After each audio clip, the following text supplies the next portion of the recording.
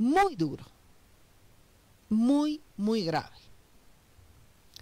Yo quiero decir claramente que la persona que ha encendido al país con su discurso por irresponsable el 6 de agosto es la presidenta transitoria del Estado plurinacional. Porque ella en su discurso del 6 de agosto se ha presentado estúpidamente, no tengo un, sinónimo para esa palabra, primero como un discurso de campaña electoral. Segundo, con un discurso de una mujer que no está dispuesta a entregar el mando. Con un discurso de una mujer que no está dispuesta a respetar las elecciones. Ella ha generado ese dolor esa inseguridad que se ha desparramado o que ha recorrido como dinamita. Ha hablado de medidas a febrero, ha hablado de préstamos que trascienden los que van más allá del mandato de un gobierno transitorio. Y no ha hablado de nada de lo que le interesa al país. Entonces, la primera persona que ha incendiado a este país ha sido Janine Áñez con su discurso del 6 de agosto. La segunda persona absolutamente tóxica, completamente tóxica, que viene amenazando con reprimir, ha sido Arturo Murillo y Miguel López, el ministro de Defensa y el ministro de Gobierno. Y yo quiero decir una cosa bien clara, que es una información que no la tengo verificada porque no tengo modo de verificarla, pero que parece ser muy cierta. Ni Arturo Murillo, ni López están logrando la represión que pretenden porque ni la policía, ni el ejército, están dispuestos a todo. Por eso han abierto el diálogo. Porque tienen necesidad de diálogo, porque su carta de represión está en veremos. Sin embargo, la población boliviana, cualquier boliviano que esté donde sea, cualquier boliviana que esté donde sea, no puede permitir que sobre una población civil hayan sobrevuelos militares amedrentando. Como si estuviéramos en una guerra. Porque en esa población civil hay personas que están en sus casas enfermas. Porque en esa población civil hay guaguas que empiezan a asustarse, que entran en pánico. Nos van a matar. Y resulta que este gobierno comete eso y todavía dice, bueno, diálogos salvajes, no sé qué. Ha sido la presidenta que ha hablado de guerra civil en su discurso. Yo he contenido una guerra civil completamente equivocada, completamente equivocada. Se han desarrollado dos diálogos este fin de semana, un diálogo en la Asamblea Legislativa Plurinacional y otro diálogo en el Palacio de Gobierno, y yo quiero referirme a los dos diálogos. El diálogo en la Asamblea Legislativa Plurinacional es una vergüenza que no se haya transmitido en directo por los medios de comunicación. Y no me vengan los de la Asamblea, hoy que no podemos, hay que no sé qué. Claro que podían dejar entrar a los medios, Claro que hasta yo puedo hacer una, transmisión Facebook Live. Hasta yo, que no tengo ni plata, ni nada, ni, ni respaldo institucional de ninguna clase. Basta de diálogos a puerta cerrada. No se pueden hacer diálogos a puerta cerrada. No se pueden hacer diálogos a puerta cerrada. Porque aquí ni la COP representa a toda la sociedad, ni el pacto de unidad representa a toda la sociedad, ni la Asamblea Legislativa Plurinacional puede tomar decisiones o podemos no ver qué cosa están hablando. Entonces, me parece importante que la Asamblea Legislativa haya tomado la iniciativa de convocar ese diálogo. Me parece importante que Salvador Romero haya asistido al diálogo de la Asamblea Legislativa, porque definitivamente la COP, el Pacto de Unidad, la CESUD-CB, representan un fragmento de la sociedad con quien hay que dialogar. Y dialogar quiere decir escuchar, hablar, escuchar, hablar, negociar y llegar a un acuerdo. Eso quiere decir dialogar. Dialogar no quiere decir hacerles sentar y hacerles firmar un acuerdo. Ese diálogo no ha sido transparente porque no ha sido transmitido.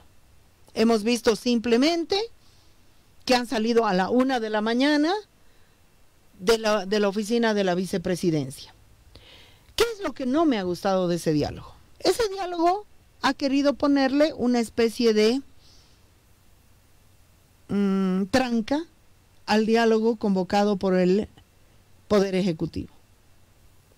Y quiero decirles a Yanine Áñez, a Arturo Murillo, a Eva Copa, a Milton Barón, a Sergio Choque, no estamos para sus pinches jueguitos. De unos, de otros, de unas, de otras y de todo el mundo. Y se ve de forma muy grotesca cómo se están saboteando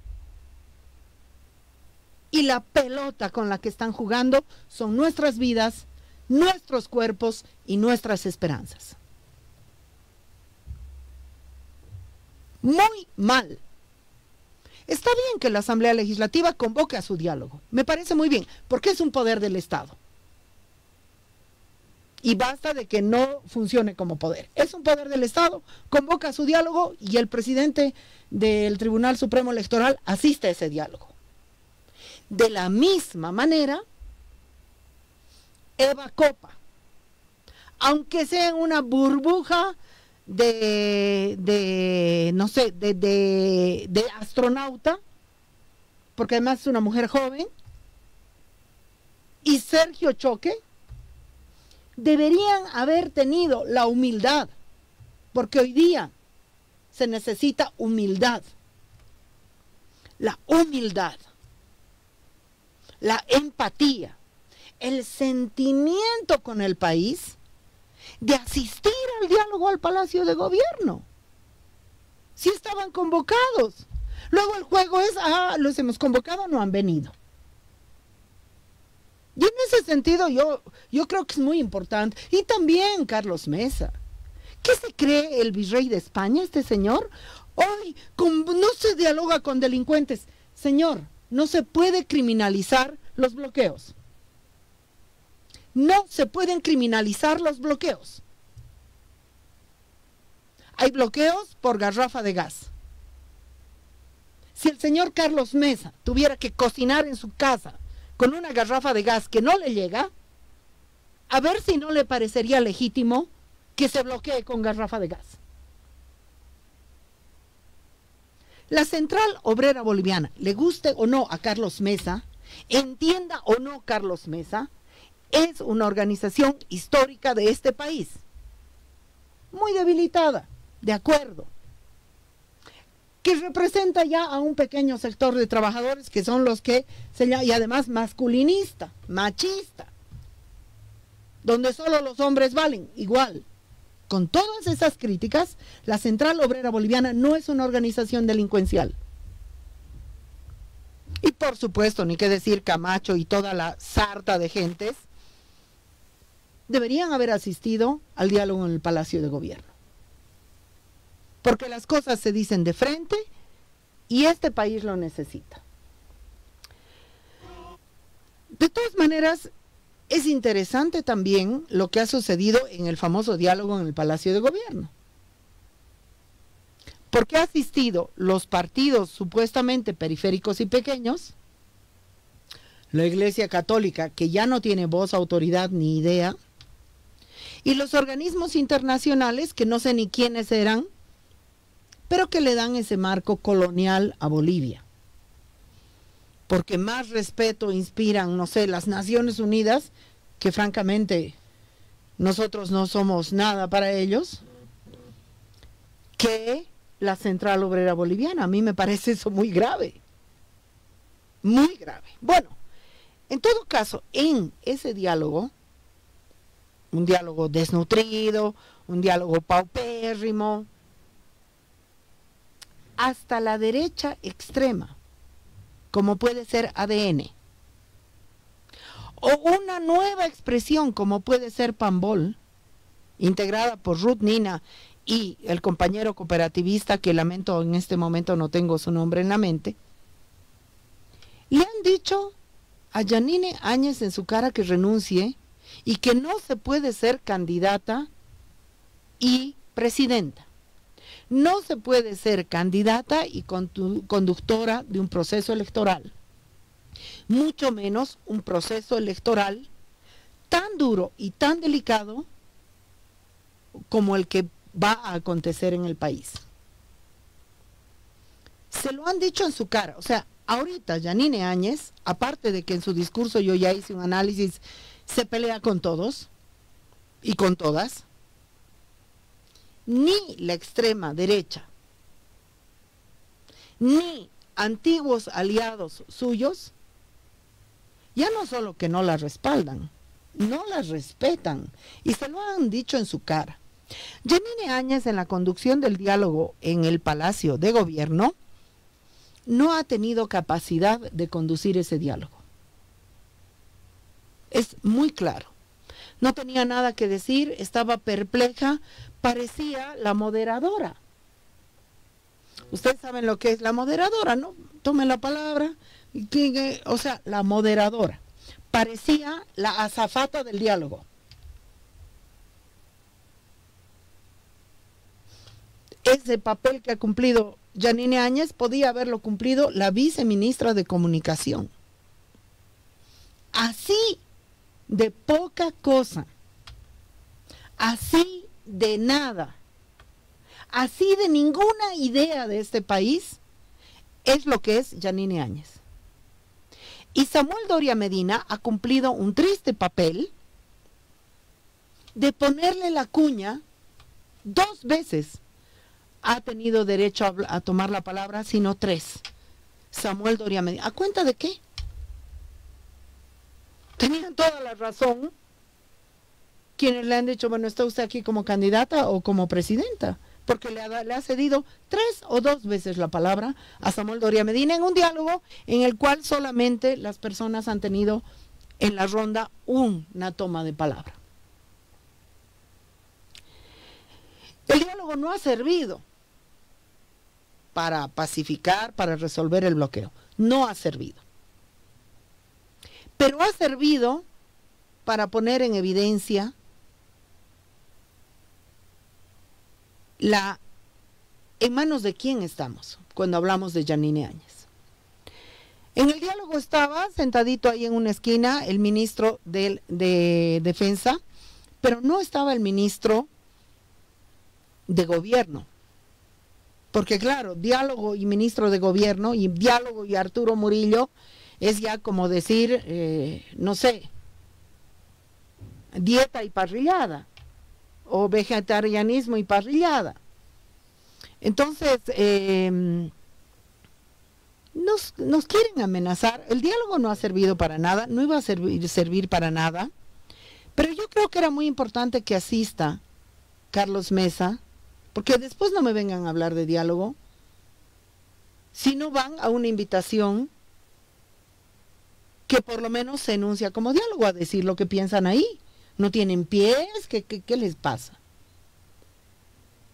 O Fernando Camacho o Tuto Quiroga, que son además quienes han puesto a Yanine Áñez en el brete donde está y por lo tanto han puesto al país en el brete donde están. Ahora quieren hundir a Yanine Áñez saboteando el diálogo y el diálogo igual funcionó. Y ese diálogo ha hundido a Janine Áñez muchísimo más gracias a la presencia de los que han asistido. porque por si acaso Samuel Doria Medina la ha hundido, porque Samuel Doria Medina para eso sirve, para hundir a cualquiera.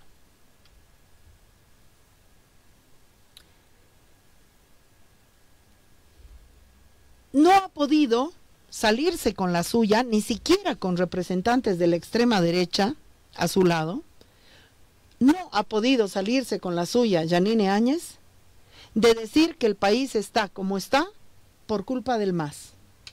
Y no es que yo soy masista para nada. Enseguida voy a entrar a ese tema. No ha podido. Claramente se le ha dicho, la gente se está curando en sus casas ante la desatención estructural que no es culpa de los bloqueos. Y lo han dicho los y las que estaban en el diálogo que son de la derecha, pero que en muchos casos, como en el caso de Ruth Nina, está absolutamente inserta en lo que es la policía boliviana y ella sabe de primera mano la desatención en la que está la policía boliviana en cuanto a su salud. Y bueno, si la policía boliviana está desatendida, imagínense una verdulera Imagínense, no sé, una vendedora de barbijos. Imagínense un habitante de cualquier zona del Alto. Todos han pedido dialogar, dialogar, dialogar. Creo que el presidente del Tribunal Supremo Electoral ha constatado, ha sentido y ha palpado que no se pueden postergar esas elecciones. No se las puede adelantar porque no se puede ya nos han metido la trampa. Pero no se pueden postergar las elecciones ni media hora. Esto es muy importante. Y ahora quiero entrar al tema de los bloqueos.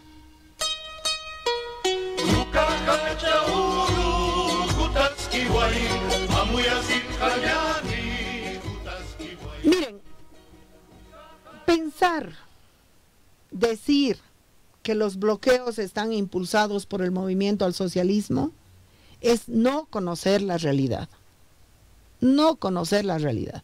La realidad compleja de las organizaciones sociales y también la trama el movimiento al socialismo ya no es orgánico, ya no es una voz, y la voz de Evo Morales perjudica, señor Evo Morales, cállese, cállese, porque el país está como está por culpa de Evo Morales, porque no respetó un referéndum, porque no respetó unas elecciones y porque salió huyendo del país. Así que cállese.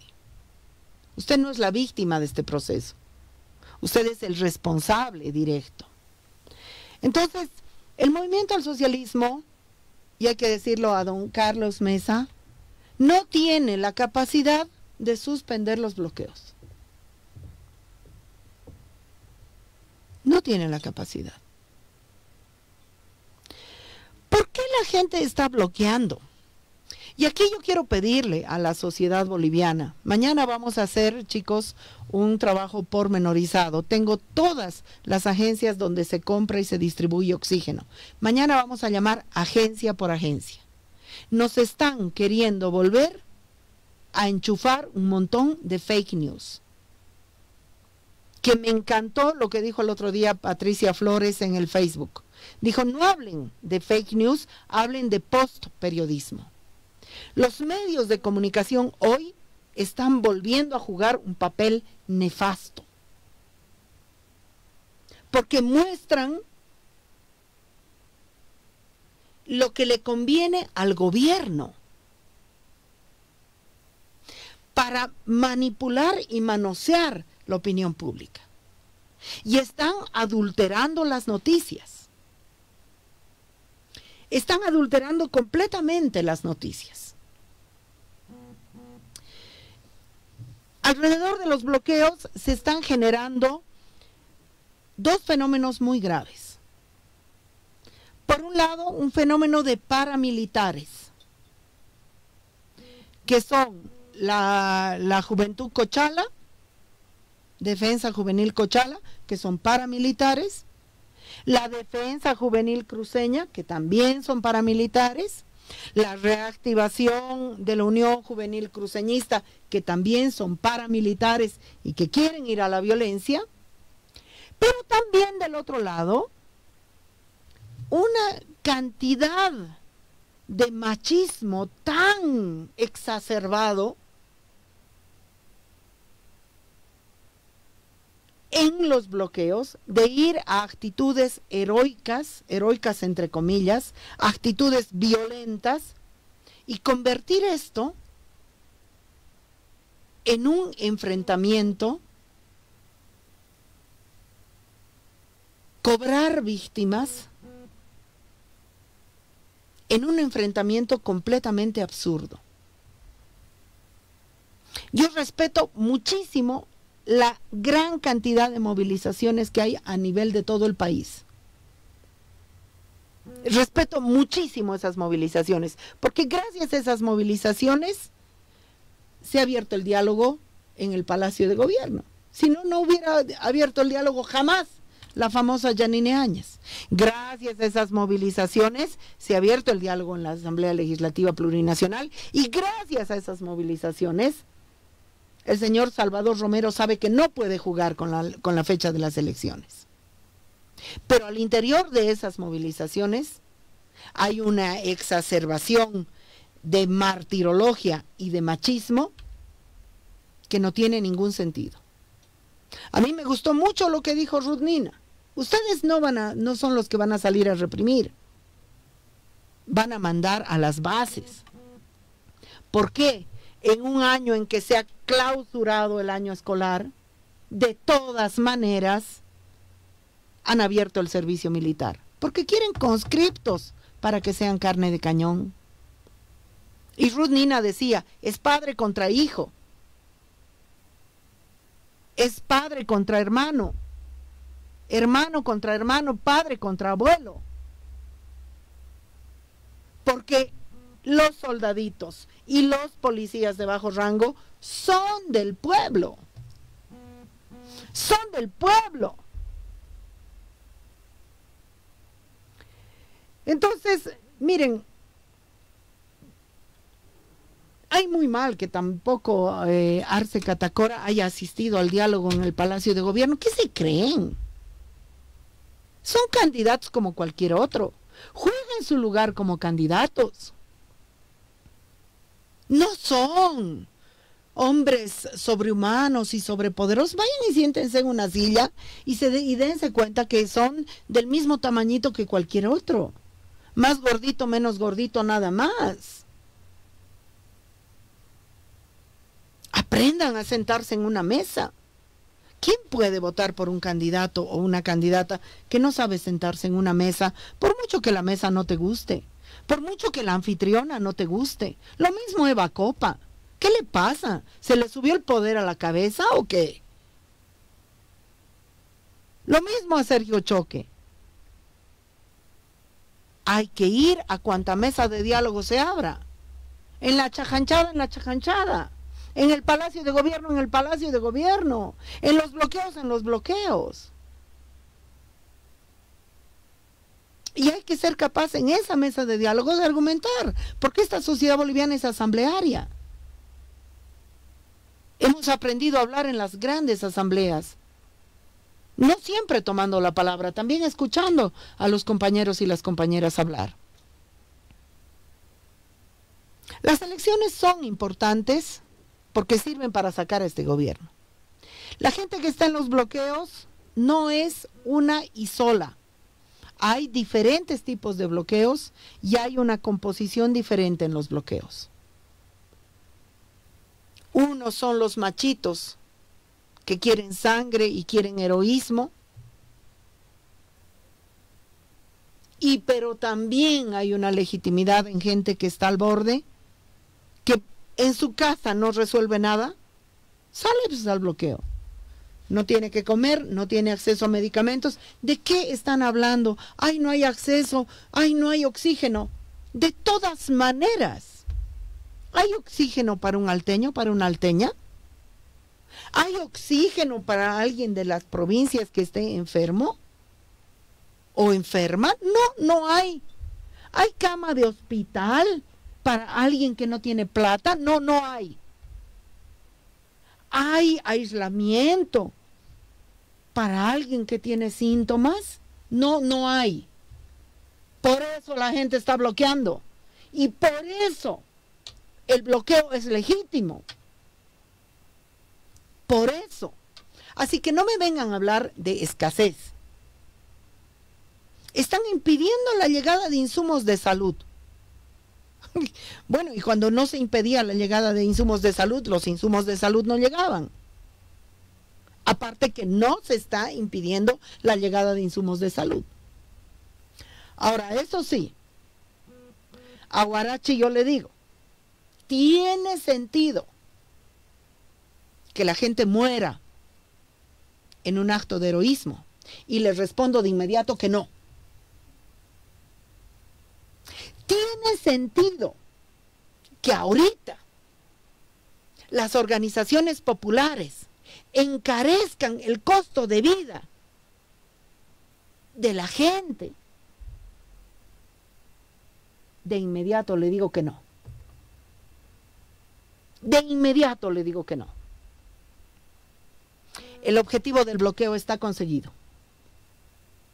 Tomen la iniciativa, no jueguen a ser más machos que el otro. Tomen la iniciativa. Suspendan los bloqueos para el pueblo. Suspendan los bloqueos para la canasta familiar. Suspendan los bloqueos con, con las condiciones respecto de las elecciones y punto. Porque no se puede derramar la sangre de nadie en nombre de nada. Y yo me caracterizo por una cosa en este programa. Me interesa hablar de la coyuntura, pero también me interesa hablar de la coyuntura larga, del backstage, de lo que está sucediendo atrás. Y resulta que la semana pasada no solamente ha, eh, no solamente ha dado un discurso incendiario del país, la presidenta, no solamente han habido estas mesas de diálogo, no solamente han habido los bloqueos, sino que ha, sucedido algo mucho más grave. Algo más grave, sí, algo más grave. Ha sucedido algo más grave que no está en ningún periódico y que lo voy a tratar en esta mesa. Se ha nombrado a Branko Marinkovic ministro de Planeamiento. En este programa vamos a desnudar los objetivos de ese nombramiento. Aquí ya sí arranca sopa de piedras.